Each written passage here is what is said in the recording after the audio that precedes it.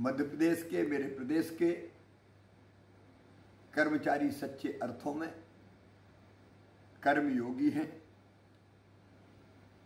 Covid काल में हमारे प्रदेश के कर्मचारियों ने जो सेवा दी है, उसको कभी भुलाया नहीं जा सकता, वो अभिनंदनीय है।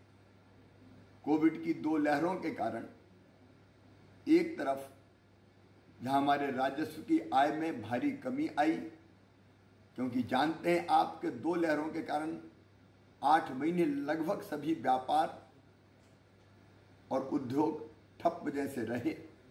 एक तरफ़ खजाने में पैसा नहीं बचा, दूसरी तरफ़ कोविड के इलाज के लिए भारी धनराशि हमें खर्च करनी पड़ी।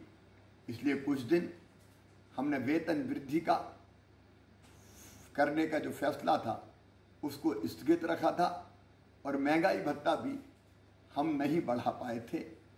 अब हमने ये फैसला किया है कि प्रदेश के सभी शासकीय सेवकों को 20 प्रतिशत महँगाई भत्ता दिया जाएगा।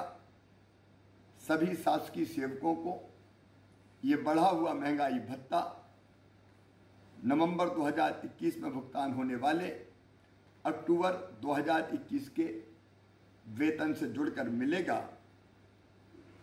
कोरोना काल में राज्य की वित्तीय स्थिति बुरी तरह प्रभावित होने के कारण वेतन वृद्धि का फैसला भी हमने स्थगित किया था।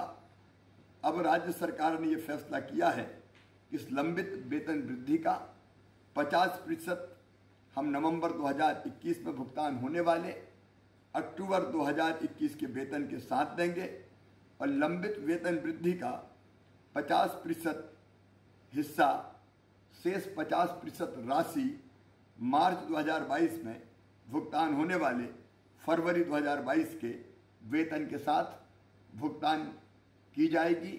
मैं अपने सभी कर्मचारी भाई और बहनों को दीपावली की शुभकामनाएँ भी देता हूँ। सरकार ने सदैव उनका ध्यान रखा है, आगे भी हम कोई कमी नहीं छोड़ेंगे। के लिए सब्सक्राइब करें जेएसआर टाइम्स और साथ ही नोटिफिकेशन पाने के लिए बेल आइकन को दबाएँ।